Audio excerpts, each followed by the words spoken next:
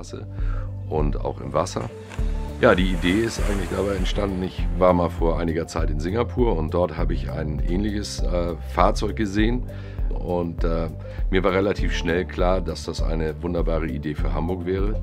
Als ich technischen Ablauf unserer ähm, Unternehmung zuständig. Gleichzeitig bin ich Buskapitän. Das bedeutet, dass bis auf Januar, da ist es wetterbedingt so ein bisschen schwierig. Deswegen fahren wir ab Februar, circa zehn Monate im Jahr, vier bis sechs Mal am Tag. Für mich war die Herausforderung im hohen Alter, also noch Busfahrer zu werden. Diese styling.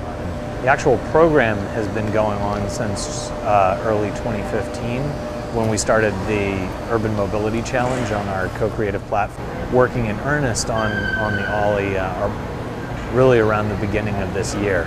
Uh, so it's been about six months till the release of that prototype.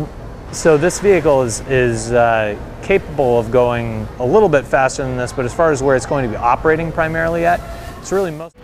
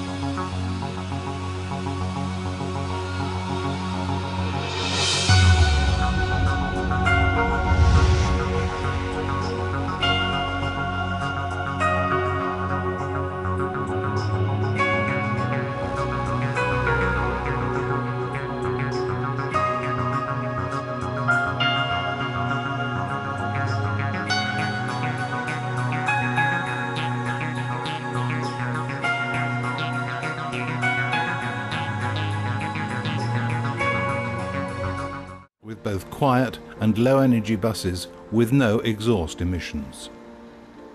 This is the first full electric bus from and quickly charged with renewable electricity at the end stops. The bus drivers also really appreciate this new technology and now find work much more.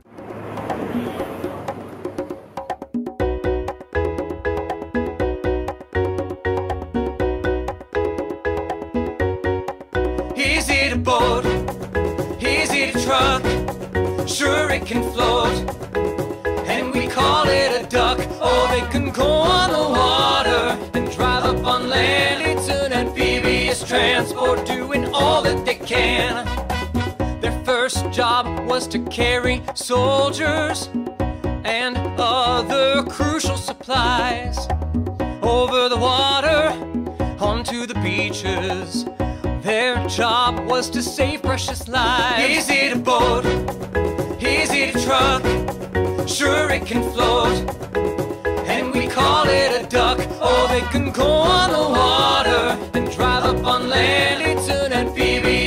transport doing all that they can.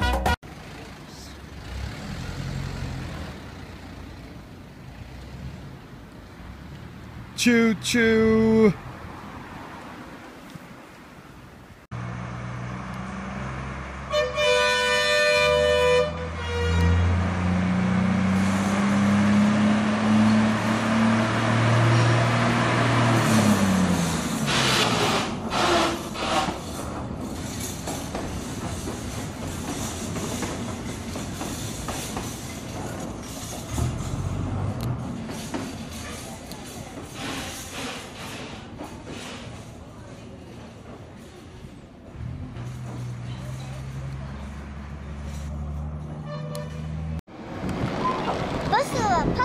スがあんまりにも好きなの